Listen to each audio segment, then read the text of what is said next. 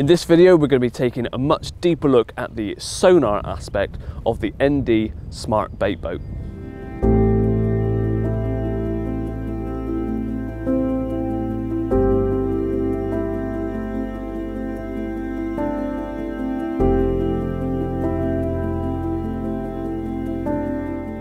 So as I just said, we're going to be taking a look at the sonar aspect of the New Direction Smart Bait Boat. Now, if you haven't seen the other video on this, which includes all the basic functions, setting this up, then uh, please go over and watch that one. It tells you how to use it, how to set points on your on your lake and take it out autopilot wise and stuff. This one is going to be much more in depth on the actual sonar aspect of this because this bait boat actually has a deeper built into it. So not only can you use it as a bait boat, take your rigs out and things fully manually, you can also map out your swim, find spots much more intricately with the deeper aspect of it. So to start with, let's show how you set it up and charge things, then we get it into the lake and see if we can find a spot. So to start with, actually charging up the sonar that's inside of this. So the main compartment, if you've seen on the previous video and the whole setup of this bait boat, then you'll have seen that where the battery compartment is, which I've got just here, that slots in here, just on the side is a little USB-C port as well, which I've got right now being charged through a power pack. So pretty much everyone takes a power pack with them these days, or vice versa, you can charge this up at home. The power supply for the deeper is separate to the actual bait boat supply, so it's worth remembering that, that these can be charged separately. You can have multiples of these, but the deeper needs to be charged through this USB-C port into the bait boat itself. You can check the battery level as well through the deeper app. So if any of you ever used a deeper before, you know the layout of the app. It tells you the battery supply, and uh, that way you can always make sure it's topped up. You can check it every time you use it. So let's take this power supply back off. That's been fully charged now. Put the bait boat battery back in as well. That slots nice and neatly into there. Connect it up, make it nice and snug. And uh, again, like I said, I will reference the previous video on how setup of this. I talk about how this all seals up nicely with rubber seals and things. But for now, I'm just going to get this set up, take it over to the swim and get started because I don't need to repeat myself when you can see all of that in a previous video. Remember, if you like this sort of content, then please subscribe to us and hit the bell icon so you don't miss any future uploads. And also follow us on Facebook, Instagram, and Twitter, where we have regular updates.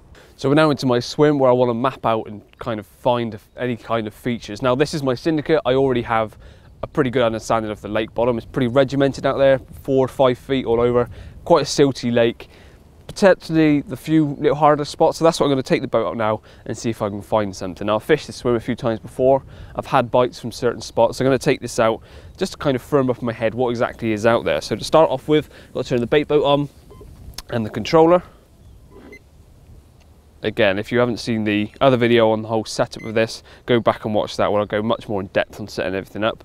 That's now connected to the boat, but the deeper isn't yet turned on. Now, if you've ever used a deeper before, you'll know that they don't turn on until you've put it in the water and it's connected. It's got something called a, a, inductive switch in it and I'm not sure all the science behind that, but it senses that it's in the water and turns itself on. So despite the fact the bait boat's on right now, the deeper isn't yet. I've got the deeper app open on my phone, however, so I'm just gonna pop the bait boat in the water, get the jets all going. Perfect. Another good thing that I've also talked about in the other video is the fact that this controller it's so small, I can do everything on one joystick, leaves this hand free, so I can always have a hand free on the app and uh, get everything sorted on here. So now I need to connect. It's just currently connecting.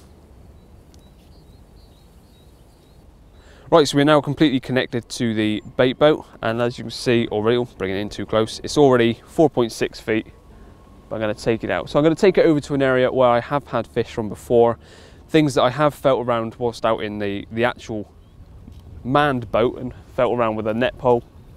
I just want to check if it is exactly how I think it is on the deeper. So let's drive it over there.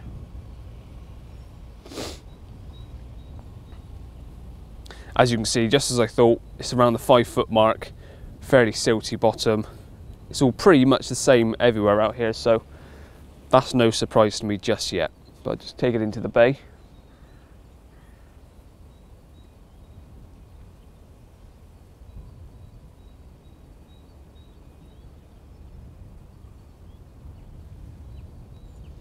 Starting to shelve off slightly, it's down to 5.2. Still taking it in, raising slightly. From what I remember, there should be a bit of a drop off. Start looking at the boat. There we are, starting to drop off a bit.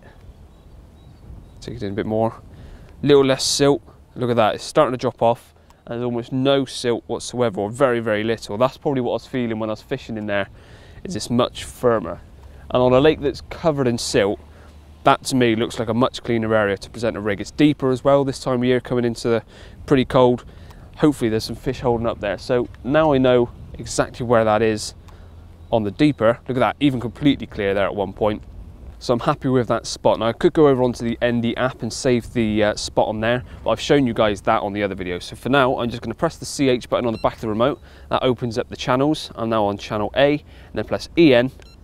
I've now saved that as point A. So if I've got the autopilot set up on the ND app, I can then use that or on here to take my rig back out there in future and I can then drop the rig and it saves that spot for me. If you don't have the autopilot app, it's not a big issue. You still can save your spots on the app. You just then got to drive it out manually. But anyway, I've now saved that spot. So I'm gonna bring the bait boat back in, put my bait and rig in there, and then press point A and it will automatically take it back out to that spot, which I've found on the deeper. It looks lovely. Actually bringing it back, I've just found another little dip that I remember was there.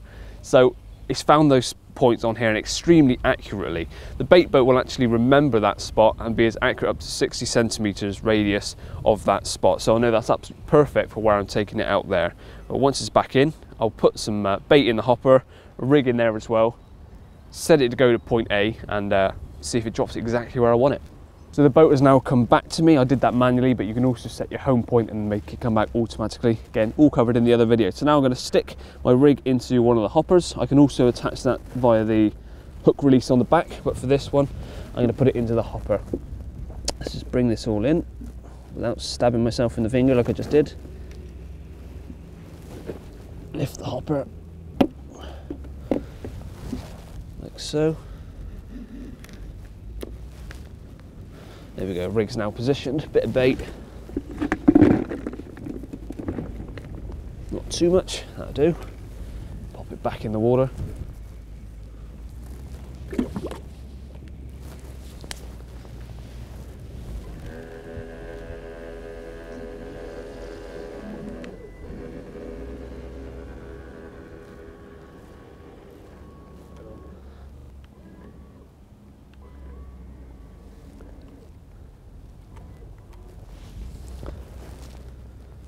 So we're now back in the water, fit the bail arm over and hit point A, which is what I've just saved, is over there.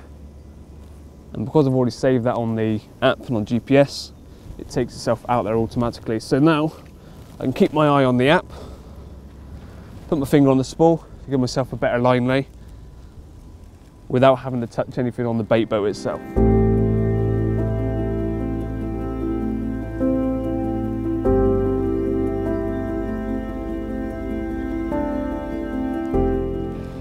Another good thing about this is that I can still have a look at the deeper, seeing what it's driving over, and I uh, can make sure that once it's got to the spot which I've preset, I can just double make sure or triple make sure that it's exactly where I want it to be in relation to how the, the bottom looks, where it's still on the clear area.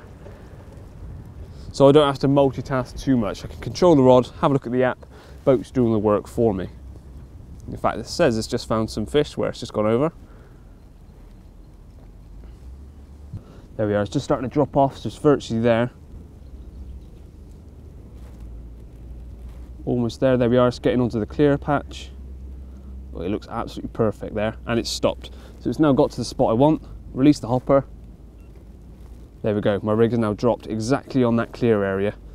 And now I can hit home or do it manually, bring it back to me while sorting out the rod there you go, getting to grips with the basics pretty much of the deeper sonar aspect of the ND Smart Bait Boat. Now this is something you can get as a complete package from ND, but for more information on all of this, go over to their website, pick a package that suits you and the sort of all the criteria and specs that you want. And don't forget to click on the link in the description below for the previous video or the other video on this bait boat where we talk a lot more about the controller, the setup of the boat, the controls itself, the ND app, uh, the actual app itself for the bait boat. So please go and watch that one, and then you've got all the information you need on both the sonar side of this and using it as just a bait boat as well. But for now, make sure you uh, subscribe to us and hit the bell icon so you don't miss any future uploads from us, and follow us on Facebook, Instagram, and Twitter for regular updates. Cheers for watching, and I'll see you again soon.